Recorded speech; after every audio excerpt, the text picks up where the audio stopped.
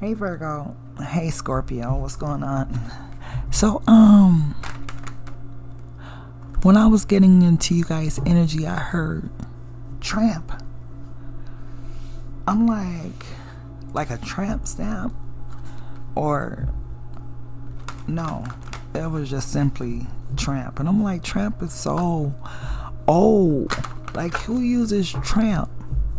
But, um, either someone is a tramp or something like that. I almost wanted to get out my phone and look up the meaning of the word tramp because it's like it's just so weird for it to come out.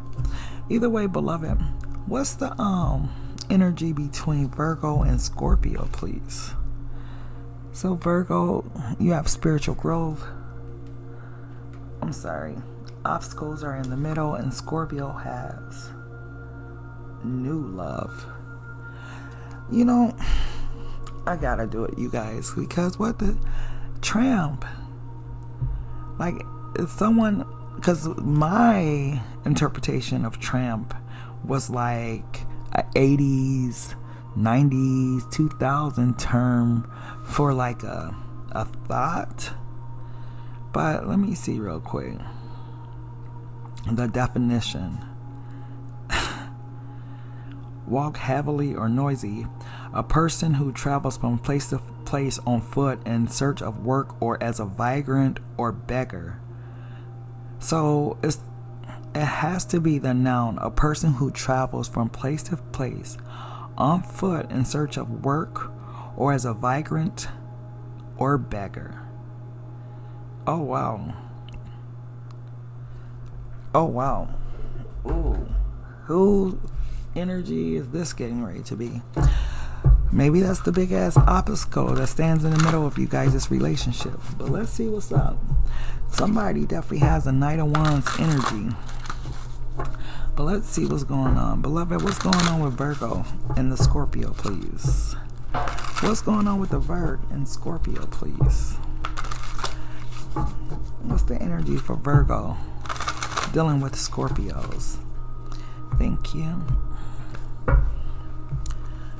Alrighty, for Virgo. Oh, we. Do you guys see what popped out right away?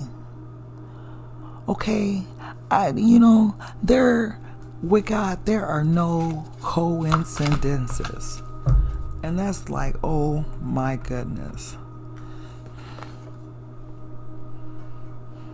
One, okay, if, if you were, you know, a parent back in, I don't know, what did I say, the 80s, 90s, 2000? That would be what you would call that person. And why the hell is it coming up on your side, Virg? We shall see. But, um, Virg, you have the dancer, luxury, justice, the journalist, the chariot, victory, the empress, and the matriarch. So you have the princess of wands, the four of cups, the justice card. You have the page of wands, the chariot, the six of wands, the empress, and the matriarch. Oh, we Virgo, Virg. Why is this reading trying to put the blame on you, Virg? What's going on with the Scorpio? Um, oh my goodness. Let me get these cards out because I gotta dig into over here. It's it's crazy what's going on over here on Virg's side.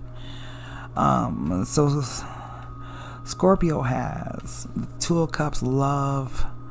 They have the Nine of Cups, happiness. The Eight of Swords, interference. The Prince of This, the Day Trader. The Four of Swords, truth. The Ace of Swords. And the Three of Pentacles. Ugh. You know, I don't know. I don't want to be disrespectful to either side, right? But don't hate me. I have to read this energy. You know, what's being told here, and this is coming out on the Virg side. Oh, wow a lady in the streets and a freak in bed. Tramp.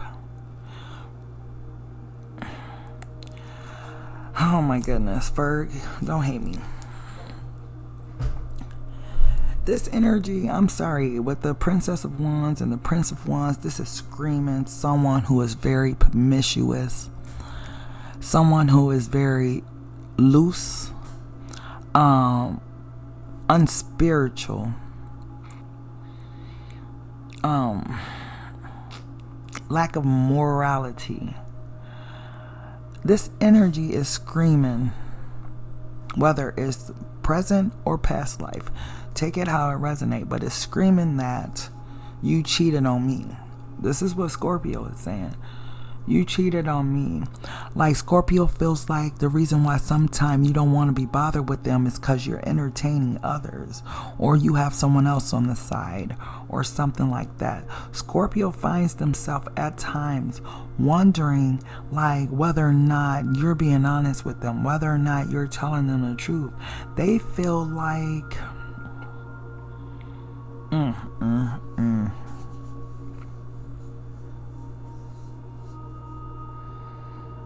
They feel like you'll do it. Virg don't hate me. But they feel like you'll do anything for attention. That you're attracted to people for the things they have, not for their heart and who they are. What they're trying to set you up to kind of be with this Queen of um Queen of Pentacles and Empress card is kind of a gold digger. And I know it's harsh. But with this justice card, I mean, this is what's been like decided. I'm not saying it's true, but on the flip side, Virg, this is how you could feel about Scorpio. But the way I'm reading the energy, take it how it resonates. You know, Virg, Scorpio feel like you guys have this super strong connection and like it could be some solid and everything they wish for, but it's like they always have to worry about if you're being truthful or honest. Something about Scorpio screaming that Virgo lied to me. Virgo's not honest with me. They don't trust you with their heart. But they want to like be with you. They can see themselves like building a relationship with you, having like building a solid foundation, something that's long lasting, but they don't feel like you're being honest. And I don't know if it's vice versa or what, but this person over here was the energy that was screaming tramp and it's coming under Virgo. So Virgo could be how you feel about Scorpio. But the energy is just so straightforward. Someone feels like someone is like if we if we like set it up for today's modern turn. Somebody feel like somebody's a cheater, a two timer, um, unfaithful, all that type of stuff. But let's see. What's the obstacle here for Virgo and Scorpio, please? What's the obstacle? I mean, let's just be honest here, okay? We would all like to think we are perfect angels. There's absolutely no, nothing wrong with us. But we all know who we are, right?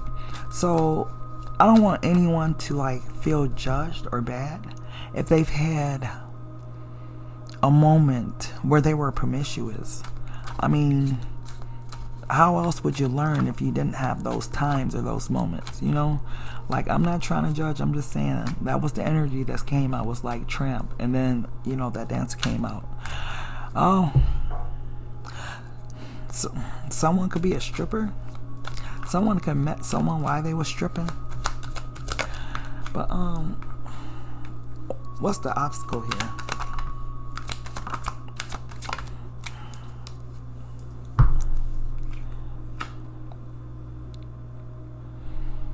You guessed it. If you guys guessed it, then you already know what the obstacle is. Someone is very promiscuous. And it stops someone from wanting a relationship with them with this Hierophant energy. Oh, wow. The Six of Cups, the Moon, the Three of Cups, the Eight of Swords, and the Four of Cups. Is reiterating exactly what I said earlier. Like some, uh, like for Scorpio, Scorpio feel like they could build, build a solid foundation with Virg, all that, but they don't feel like, or whoever's energy this is, take it it applies. Somebody don't feel like someone's faithful to them. Like if they have somebody else, and you know what's crazy? Is I feel like with this Eight of Swords coming up twice, Scorpio's always thinking about it. It's not a day that goes by where it's not on their mind. And they try to put them be behind them. They try to put it behind them because they actually do love Virg. But I don't know. They just don't feel like someone is being faithful in this connection.